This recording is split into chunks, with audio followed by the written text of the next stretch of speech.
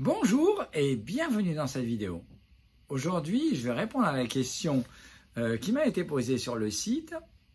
Euh, qu'est-ce qui favorise les extrasystoles Alors, qu'est-ce qui favorise les extrasystoles Que ce soit, alors finalement, on va essayer de traiter euh, aujourd'hui à la fois des extrasystoles atriales, qui viennent des oreillettes, des extrasystoles ventriculaires, qui viennent des ventricules. Alors, puisqu'elles ont un certain nombre de facteurs favorisants communs, même si effectivement elles ne sont pas tout à fait les mêmes. Vous avez également sur la chaîne plusieurs vidéos qui traitent des extrasystoles, plus des extrasystoles ventriculaires que des extrasystoles atriales, mais vous allez en voir de plus en plus pour essayer de répondre à vos questions, parce que je vois que ça suscite plein plein de questions. Alors, qu'est-ce qui favorise les extrasystoles? Ben, Le premier élément pour faire des extrasystoles, c'est que d'abord on en a tous, d'accord, ça peut rassurer, on en a tous, mais en général en faible nombre, et en général elles sont asymptomatiques. C'est-à-dire asymptomatiques, c'est-à-dire qu'on ne les ressent pas.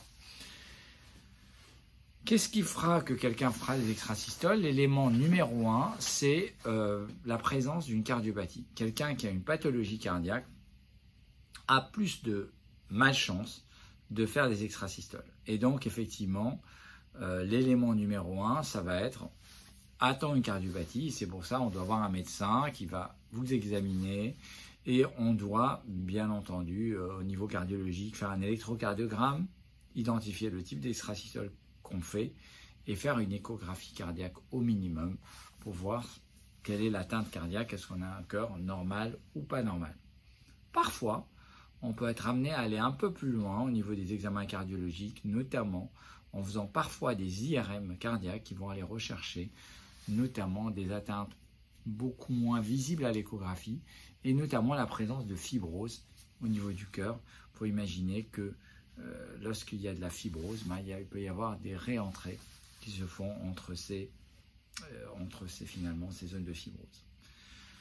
Alors, plusieurs questions. Est-ce que les anomalies ioniques favorisent les Oui, en fait, le manque d'ions, euh, le plus connu est le potassium, bon, vous ne savez pas vous mettre à prendre du potassium euh, en comprimé quand même, mais le potassium, euh, le manque de potassium, ou l'hypocalcémie, le manque de calcium, sont des pathologies qui classiquement donnent des troubles du rythme.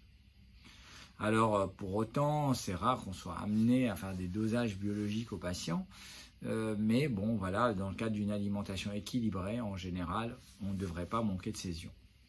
Le magnésium, vous savez c'était un petit peu à la mode de donner euh, du magnésium en ce que vous voulez. Euh, voilà, il n'y a aucune preuve aujourd'hui euh, que l'hypomagnésémie soit supplémentée. On n'a pas de données sérieuses. On donne un petit peu de magnésium sur une pathologie cardiaque qui est la torsade de pointe, mais dont je ne suis pas parfaitement persuadé que ça soit prouvé d'en donner. En tout cas, je ne prescris jamais le magnésium à mes patients, en même temps sachant que ce n'est pas dangereux d'en prendre. Euh, alors, le stress, l'activité physique, etc. Alors, euh, disons que si quelqu'un a déjà le substrat, il peut faire des extrasystoles qui vont se déclencher dans des circonstances particulières, notamment au stress. Voilà. Euh, quand on est stressé, on a un surcroît d'adrénaline qui va aggraver finalement les, les extrasystoles. Les excitants. Les excitants, euh, on peut mettre le café, on peut mettre l'alcool, on peut mettre les drogues, bien entendu, euh, les, boissons énergisantes. Ça amène, euh, c'est adrénergique en fait, et quelqu'un qui est alcoolique, soit qui, se bourre la gueule ou qui éventuellement se sèvre brutalement, bah, il va avoir beaucoup d'adrénaline et donc il peut avoir plus d'extrasystoles, voire avoir des extrasystoles qui s'organisent pour faire, si c'est l'oreillette, une fibrillation atriale, si c'est le ventricule, faire quelque chose de beaucoup plus grave. L'activité physique, moi je trouve que c'est plutôt bénéfique, c'est-à-dire que euh, quelqu'un qui a des extrasystoles, je lui recommande largement de faire du sport, parce que le fait de faire du sport, ben, finalement, fera que euh, bah, vous ferez moins d'extrasystoles, ou en tout cas vous les sentirez moins, parce que vous régulerez euh, mieux euh, votre rythme cardiaque. Certaines pathologies extracardiaques peuvent favoriser les extrasystoles.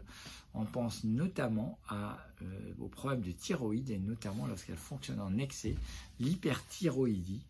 En fait, quand les hormones thyroïdiennes sont, en fonctionnement excessif. En fait, c'est des patients qui sont hyper speed, hyper accélérés, hyper adrénergiques. Et donc, ça, donne des extrasystoles et voire des arythmies. Et puis, un autre élément euh, qui est que les extrasystoles sont variables. Et donc, euh, en fait, elles varient tout le temps. Et donc, le, même facteur favorisant peut ne pas tout le temps donner une crise. Et donc, c'est variable d'un moment à l'autre de, euh, faire des extrasystoles. Ce n'est pas obligatoire d'avoir toujours une extrasystole déclenchée au même moment pour un patient donné. Bon, Là, dans cette vidéo, je vous ai adressé les différentes causes des extrasystoles et dans lesquelles j'ai regroupé à la fois les extrasystoles atriales et les extrasystoles ventriculaires. J'espère que ça vous a intéressé. Première chose à faire, vous abonner et activer les notifications pour ne pas rater les autres vidéos et notamment les lives. Deuxième chose à faire, mettez-moi en commentaire ce que vous voudriez traiter sur d'autres vidéos. J'espère que ça vous a intéressé et je vous dis à très très bientôt sur cette page. Bye bye.